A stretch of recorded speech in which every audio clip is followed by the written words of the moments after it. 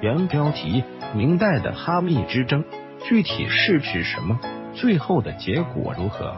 作者：首都师范大学世界史研究生，季文弩学社青年会员。贺钦令哈密之争，也称之为明朝哈密战争，是指在明朝中期的官军与外夷之间发生了一系列战争。哈密位于新疆境内。汉朝以来便归中原王朝所统辖，汉武帝曾在此设都护机务司校尉，管理域内事务。由于独特的地理位置，所以是丝绸之路上重要的交通枢纽站。到了宋代，由于海上丝绸之路的兴起以及造船技术的成熟，此时又逢崛起的奥斯曼帝国垄断了陆上丝绸之路，加之路上路况恶劣。所以到宋代之后，陆上丝绸之路逐渐的没落。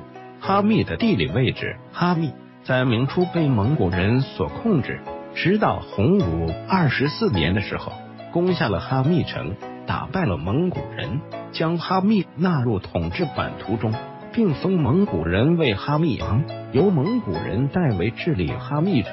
尽管朱元璋在一统江山后，加强了对地方。的监管与扶持，但哈密的经济地位仍然避免不了走下坡路的趋势。哈密之于明朝的作用，更多的体现在迎送西域往返的时节，另外对西域诸藩国起到联络和震慑的作用。所以总体而言，政治地位逐渐超过了经济地位。陆上丝绸之路，由于哈密的地理位置距离中央的核心统治区域过于遥远。所以明朝对它的控制始终是若即若离的，再加之地方的分裂势力也在不断的壮大，导致了哈密的治理情况并不理想。在成化年间，朝廷就和吐鲁番围绕哈密的问题展开了持久的讨论与争执，并率军收复了哈密。将领罕慎因功进封左都督，入主哈密。由于罕慎的残暴统治，民怨沸腾。弘治年间，明朝封罕慎为忠顺王，吐鲁番阿黑麻多次侵扰，并占领了哈密的部分疆域，但此时仍然忌讳明朝势力，最后还是将其交回明朝。成化弘治年间，对于哈密的态度，在朝廷重臣王俊、马文生坚持下，采取的是非常强硬的态度。马文生官职不断上升后。加之正德皇帝对哈密也无太多兴趣，所以在后期的态度有所疲软。所以吐鲁番趁机夺取了哈密的控制权。杨廷和向杨廷和担任首辅之后，又重新对哈密采取了强硬态度。到了嘉靖年间，哈密仍然被吐鲁番所控制。此时吐鲁番的统治者是一个叫满素尔的人。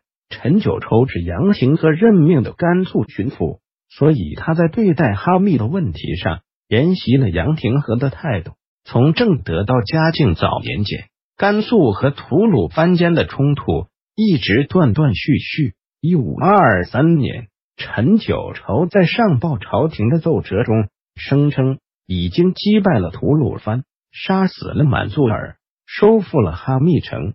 但是此时朝廷恰逢大礼仪之争，哈密由于地理位置过于遥远，对于中央也无甚大影响，所以陈九筹上报的奏折并未引起朝廷的注意。几年之后，大礼仪之争的风波渐渐平息，人们发现满素尔仍然活着。